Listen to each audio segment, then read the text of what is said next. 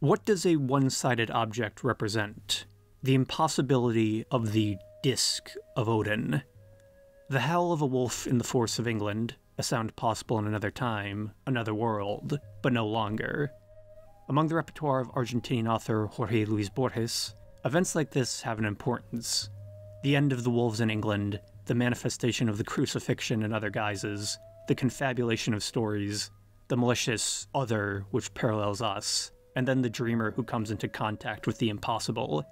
Recurrent motifs of Borgiana, as it were, which include mirrors, masks, gauchos, Germanic mythology, labyrinths, memory, and infinity, totality expressed in words and objects. Throughout Borges' short stories, objects which echo these events and ideas appear again and again, but the Disc of Odin, which falls into our hands, is one of the most excellent. It is an expression of Borges' affinity for mathematic tricks, mythology, and heaps of complex literary references. The short story El Disco is a two or three page short story, depending on language and formatting, about a truly one sided object, the Disc of Odin, or the eponymous El Disco. A physical expression of a world which cannot exist, or at least exist any longer, a totem of dreams passing into reality, the story of a woodcutter in medieval England, or perhaps Saxony, murdering a pompous wanderer for an object he could never understand. The reader is given over totally to Borges' game in it, as, before he went blind, he preferred Argentine truco. Though, reading the disc as simple biography makes one blind to Borges' pure talent. The author called this the dialogue of ascetic and king, or the dialogue between nothing and something. The philosopher Heraclitus snubbing King Darius of Persia, Alexander the Great blocking Diogenes the dog's son, or the Greek king of the East Menander embracing the yellow robe of the holy man Nagasena's Buddhism. In philosophy and wisdom literature, there are many modes of this which appear again and again, a sort of morphology throughout human history. Though, as Borges opines, if one wishes to toy with zero and infinity, the figure of a dead god is far more economical, a divinity which fails its own eternity. The totality of an object which cannot exist, but does against both logic and mathematics.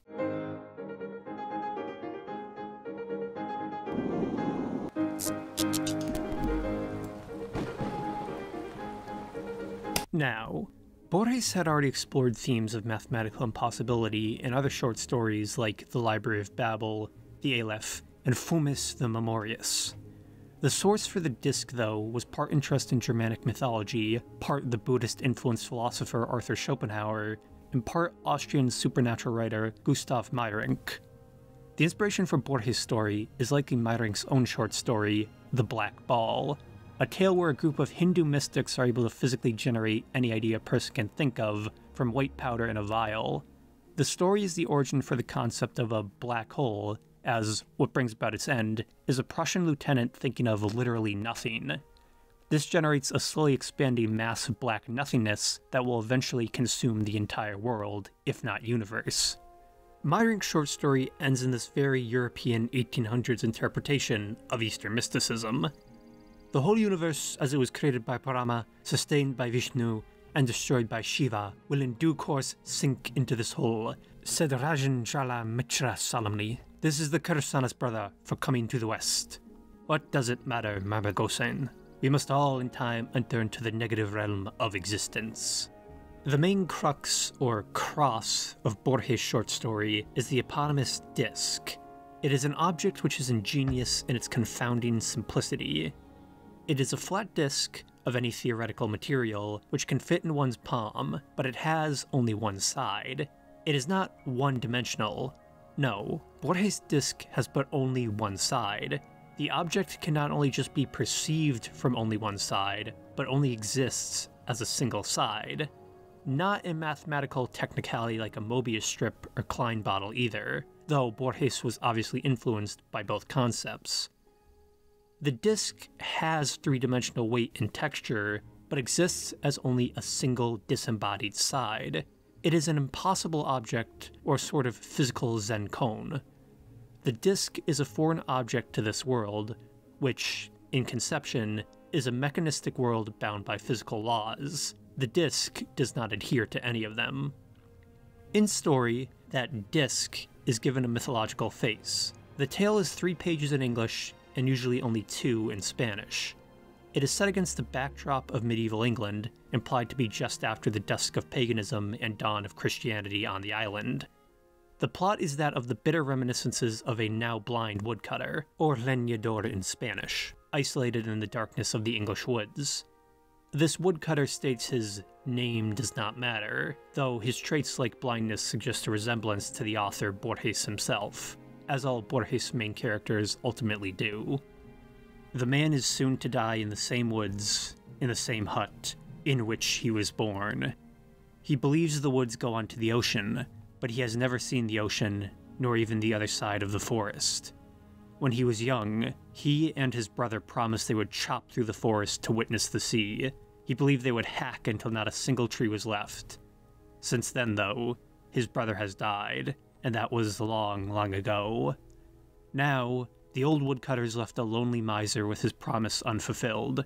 He no longer travels to any village because his eyes don't see anymore, as he says. He also claims there are wolves in the woods, but the wolves do not bother him. Still, though aged, his axe has not failed. He is left alone until a stranger knocks on his door one day. This wanderer, an old man, appears wearing an old blanket, a scar across his face, leaning on a staff, but he is filled with age and authority. The Wanderer and Woodcutter exchange irremarkable words of hospitality until the Wanderer says, I am without a home, and I sleep wherever I can. I have wandered all across Saxony. The old woodcutter notes that he remembers his father, long ago, calling England Saxony, but no one does any longer. He takes the wanderer in, the two eat dinner, then they sleep for the night. In the morning, the strange wanderer casts his staff before the woodcutter and demands he pick it up, an act of authority. Why should I do what you tell me to? Because I am a king. Though thinking him mad, the woodcutter picks up the stick and returns it. For it, the wanderer tells him, I am the king of the sections. Many times did I lead them to victory in hard combat, but at the hour that fate decreed, I lost my kingdom. My name is Isern, and I am of the line of Odin. The woodcutter retorts, I do not worship Odin, I worship Christ. Ignoring him, the wanderer tells, I wander the paths of exile, but still I am king, for I have the disc. Do you want to see it? There, the wanderer shows him the disc. The woodcutter touches it and sees only a quick gleam. The wanderer explains, It is the disc of Odin. It has but one side. There is not another thing on earth that has but one side. So long as I hold it in my hand, I shall be king.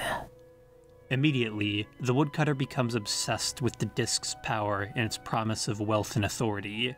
The woodcutter offers a fictional chest of gold for the disc, but the wanderer refuses to part with his treasure. Then you can continue on your way, says the woodcutter. He continues on. The woodcutter chops down the wanderer and the disc falls from his hand. The wanderer falls. The woodcutter marks the place of the disc with his axe, then disposes of the wanderer's body in a nearby river. But when I got back to my house, I looked for the disc, but I couldn't find it. I have been looking for it for years. A simple story of temptation and greed on the surface, but that is only a single surface. Like the woodcutter, the reader's mind's eye is immediately drawn to the disc. The Disc of Odin, as it is named in story. Borges contextualizing the disc's existence in terms of Norse slash Germanic pagan myth is important here. The disc is an impossible object of both Borges' fabulous style and of mythology. The impossible objects of Norse mythology, or other branches of Germanic myth, were the tools or weapons of the gods. Odin's spear Gungnir, which he used to impale himself on the World Tree, Thor's hammer with its too short handle, and lesser known ones such as Loki's boots that allow him to fly, Sigyn's bowl used to catch the poison that drips into Loki's eyes, then the god Rand's fishing net which catches dead sailors. In their function or form, all these objects defy or defeat themselves in certain instances, being used for their opposite intentions. Odin's spear was used to injure himself and always returns to his hand. Thor's hammer is not a proper hammer with a cut handle. Loki's boots are used for flying, not walking or running. Sigyn's bowl is used not for food, but for poison, while Rand's net is for the dead, not fish for the living. All these objects display the fatalism inherent in Northern mythology. The disk's physical impossibility is invoked alongside these miraculous tools of self negation or opposition. Being so familiar with Germanic myth, as he both read the sagas and studied Old English, Borges is obviously invoking a certain category of self defeating wondrous object. The impossible objects Borges invokes are the materials used to construct the apocalyptic wolf Fenrir's chains, Gleipnir, or, in Old Norse, Open One, another self defeating name. In Norse myth, the dwarves were commissioned by the gods to construct impossibly strong chains to bind the bestial Fenrir until the end of the world, Ragnarok. To craft such a chain, the dwarves required six impossible objects as material the sound of a cat's footfall, the beard of a woman, the roots of a mountain, the sinews of a bear, the breath of a fish, and the spittle of a bird. All metaphorical, impossible objects which bring about great struggles, each express a complex metaphor in itself, of which Borges' own fictional objects are much the same. Gleipnir, as the name suggests, is an equally self defeating confabulation of an object. It is thin as a ribbon, but stronger than any iron chain, and thus used to bind a cosmic wolf beast until the end of time. The mythological symbolism is deep. Borges casts the disc in the same lineage as these divine and impossible materials. It's no surprise then, as with the use of Gleipnir, the disc exists alongside wolves and their binding slash vanishing. The main conflict of the story, El Disco, or the Disc, is the incursion of that vanishing paganism into a newly Christian world. When the Wanderer, who claims a connection to Odin, enters the hut, he is bringing an object of a pagan worldview into a newly Christianized world. To the Wanderer, the Disc is an object of magic and divine authority, rulership of the Secgens and Saxony. To the Woodcutter, though, the disk is an impossible object which seems to defy the established mechanistic immaterial laws of this Christian world, or England. It exists as pure magic without a source to the woodcutter. The Wanderer Isern's murder is a similar act steeped in mythological and religious symbolism, a bloody oxymoron of religious conversion, Saxony to England. Even their occupations, woodcutter and wanderer, mirror the clash or passing of paganism to Christianity, a literal representation of settled Christianity expelling wandering paganism. The conversion or transfiguration of symbols, peaceful or violent, is a topic which Borges long mused over in essays like Dialogue of Ascetic and King, Forms of a Legend on Buddhism, and Circular Time on the concept of the eternal return. Isern is the king, the woodcutter the ascetic, and Odin the dead god. If it did not strike yet, Isern is supposed to embody Odin or be a representation of him in Wanderer's garb, the god Odin well known in myth to wander the world in such a state. Isern's role as the Wanderer in scars mark him as a stand in for both Odin and Germanic Norse myths in general, he is, after all, of the line of Odin. The stick, or staff, and disc are both signs of kingship and authority, the disc being a divine symbol, and the stick or staff being a temporal symbol. The Wanderer's staff is a sign of dominion over the world. When he has the woodcutter pick up his staff, the Wanderer invokes an act of ancient ritual and rulership. He attempts to invoke his authority over the woodcutter, to who, as being of the world of Christianity, it has no effect on, he understands Isern as only an interloper, which he is in this new Christian world. Isern claims rule over the Secgens or Seconds. Borges misdirects here to make them an obscure Germanic tribe of the early Middle Ages, either of England or Germany, but the name is likely an obscure joke. Sektion in Old English is derived from the verb to say or to speak, and shares a root with the word saga. The modern English word say even still bears a passing resemblance to it. The Sexians are not a true tribe then, but the tribe of storytellers and bards. Isern is the king of storytellers. Even Isern's name suggests the phrase Isernes Dal from Old English, which means much iron. Is it not ironic the king Much Iron is felled by a nameless woodcutter's axe? The felling, or chopping, is another action of significance alongside the disc, parallel deaths and torments of Norse mythology and Christianity. If one takes Isern to be a representation of Odin, which Borges' symbols suggest, the woodcutter's actions mirror the felling of Irminsul, or the great pillar or tree of the Saxons. The pillar or tree trunk, it's not exactly clear what it was, was likely a representation of the mythological world tree Yggdrasil, or the Axis Mundi of certain mythologies. The structure was destroyed by Charlemagne after his conquest and conversion of the Saxons, though, in the conversion narratives of Europe, the conquest and conversion of pagan peoples and the felling of sacred trees is not uncommon. There was said to be a sacred tree at the Temple of Uppsala in Sweden as well. The Anglo Saxon missionary, St. Boniface, is said to have done the same when he converted other Germanic peoples. The saint is said to have chopped down Donner's slash Thor's sacred oak to build a church as a challenge to the pagan tribes of Germany the veneration of these trees being common in the polytheism of the Germanic peoples before the conversion of greater parts of Europe.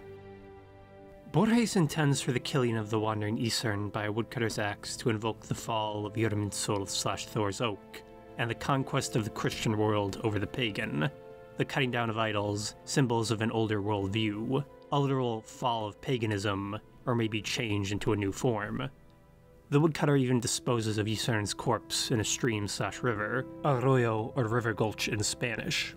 The flowing water of the river connecting to the Christian rite slash symbol of conversion in Christianity and the baptism of Jesus Christ by John the Baptist. Borges intends a synthesis, though. The woodcutter's occupation invokes Jesus of Nazareth's role as a carpenter and draws a parallel between the cross and the world tree.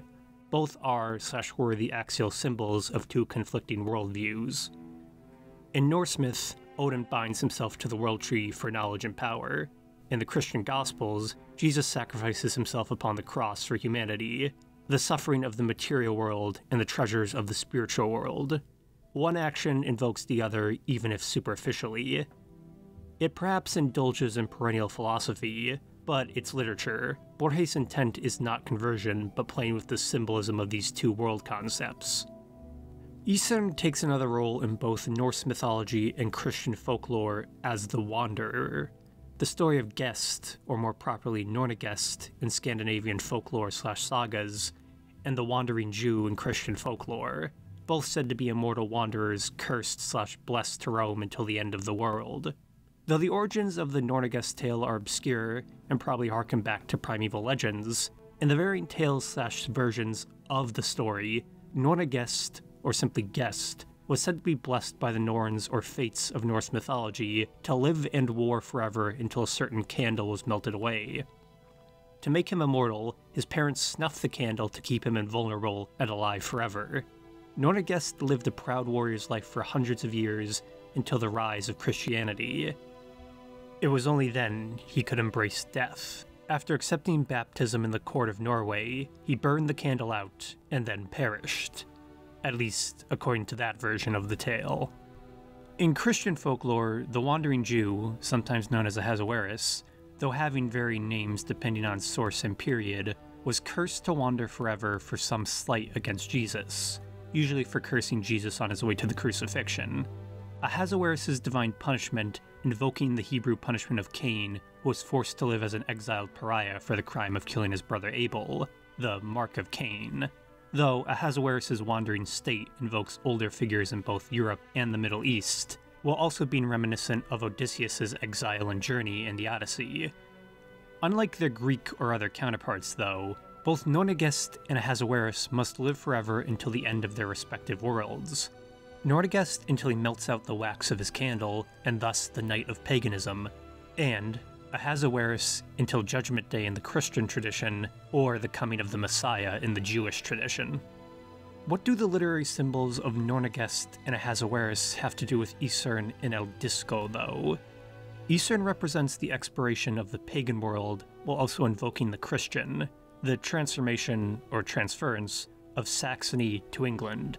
The woodcutter's desire to hack through those woods represents the transformation, likely brutal, of his world. He desires to witness the sea, but ends up dumping a body in a river. There are associations of the forest with paganism and the sea with Christianity, but don't forget the Vikings also held the sea likewise. The old pagan magic of the impossible disc cannot exist for the woodcutter. The Disc of Odin is an object which cannot be in a world of Christian metaphysics. But, as there are still wolves alive in those woods, the last whispers of paganism live on in the fringes. The woodcutter's response rings true I worship Christ. The disc cannot exist for him. Odin is likewise similarly bound to rule and wander until Ragnarok, the death of the gods. Though, even once submerged in Christianity, Odin, and his other parallel figures of Germanic myth, were often difficult to expunge from cultural memory, often being bowdlerized into warrior figures such as Herne the Hunter or Wad in England. In areas of Scandinavian culture or influence, it was often feared Odin, often conflated with Nornagest in these retellings, would reappear as an evil spirit and tempt the converted Christians back to paganism with his power, the wandering soul of Odin literally intruding into the homes of his former worshippers. The gods said to be bitter against those who turned against him. Herbert J. Brandt observed in Dreams and Death, Borges El Libro de Arena, that when Borges' stories have a direct antagonist, his antagonistic figures are often the intruder which puts the dreamer in danger. They often incur into the story as a sort of foreign, supernatural figure, often as the animus to the protagonist's anima, or vice versa. They represent the missing other, or shadow double to something. Isern likely fulfilling, or stealing, the role of the lonely woodcutter's long dead brother in story, these scenarios were often real to Borges, who suffered nightmares of infinite repetition and regular insomnia, then followed by wandering the streets of Buenos Aires, or whatever city he was in at the time, to cope with his restlessness. These figures in story, like Isern, are without a stable identity and are often a tangled knot of themes, histories, and shifting content, which Borges often employed for his impossible objects. Sarah Barber calls these items and it could be extended to these figures as well, like Isern, avatares del objeto impossible, avatars of the impossible object. There then are two avatars of the abstract. Isern, and thus the disc, are interlopers into both the dream of the story and the Christian world concept it depicts. An autobiographical interpretation of the story often sees, or does not see, Isern and the woodcutter acting as Borges' own doubles, both are subject to blindness, the woodcutter's own blindness alongside living in the dark woods, then Isern's scarred face which invokes Odin, and his use of staff slash stick to travel the world. Isern represents Borges' interest in the ancient North, and the woodcutter his Anglophilia. Borges too often felt divided between the heritage of his family in Argentina's military and his own role as a writer. The guise he assumes as a storyteller is never explicit, Remember, the woodcutter purposefully avoids giving the reader a name. There is much more from Borges that can be drawn on to show how deeply connected these entanglements are. One of his few stories that have an explicit romance, Ulrikke, or Ulrica, plays off similar themes to El Disco, but in the modern day. It is about a chance meeting in England between a Colombian professor, Javier Otárola, and a Norwegian woman, Ulrica who cannot pronounce each other's names due to their native languages. In the winter snows of York, the two knowingly reenact the doomed romance of Sigurd and Brynhild, even assuming those names, from the Norse Volsunga saga. The actions are layered heavily with the fatalism inherent in Germanic mythology slash folklore, such as how Odin appears in the saga as a wise, scarred wanderer who can predict the future, Ulrikke's autobiographical elements have no end of speculation because Borges' tombstone bears the line from the Norse saga He took the sword Gram and laid the naked metal between them. Though, as Borges begins the short story in character, my story will be faithful to reality, or at least to my personal recollection of reality, which is the same thing.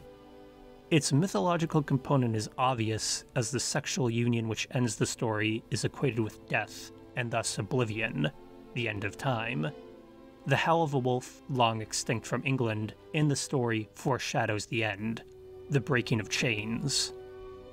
Then there's the story The Witness, about the obscure, unremarked death, Borges imagines, of the last Anglo Saxon pagan become Englishman to ever witness the true religious rites to Odin slash Wotan.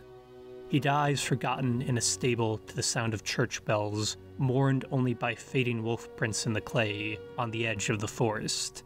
The perishing of paganism unremarked in the newly Christian world. The story asking what fades and is lost forever with the death of each human, the death of image and sound in memory of a witness. What voice or scenes only they saw and can recall, as Borges warns, with the death of each person, the world is a little poorer, unless that is, there is some universal memory. But what of that dead god? Norse mythology, and likely its lost cousins, Anglo Saxon mythology, and other branches of Germanic culture, is one of the select mythic structures that explicitly tells of the death of the gods. This mythic structure in history has an implied end in Doomsday in Ragnarok or Götterdämmerung. All three stories, El Disco, Ulrike, and The Witness, are preparations for death or death in dreams through the symbolism of mythology, loss, and lost mythology, the fading of form and memory and content into oblivion. As the character Ulrike or Ulrika remarks on the history of England and how it once belonged to Norway, if, that is, anyone can possess anything, or anything can really be lost. I will end here with a reading of an interlude from the essay The Dialogues of Ascetic and King, a brief prose poem, as it were. In the court of Olaf Tryggvason, who had been converted in England to the faith of Christ, an old man arrived one night dressed in a dark cape and with the brim of his hat over his eyes. The king asked him if he knew how to do anything. The stranger answered that he knew how to play the harp and tell stories. He sang some ancient airs, told of Gudrun and Gunnar, then spoke of the birth of Odin. He said that the three fates came, that the first two pronounced great happiness, but the third, in a rage, said, You will not live longer than the candle burning by your side. His parents put the candle out so that Odin would not die with it. Olaf Tryggvason didn't believe the story. The stranger, insisting it was true, took out a candle and lit it. As the others watched it burn, he said it was late and that he had to leave. When the candle was consumed, they searched for him. A few steps from the king's house, Odin was lying dead. This excerpt is sometimes titled as The Birth of Odin, or simply Odin.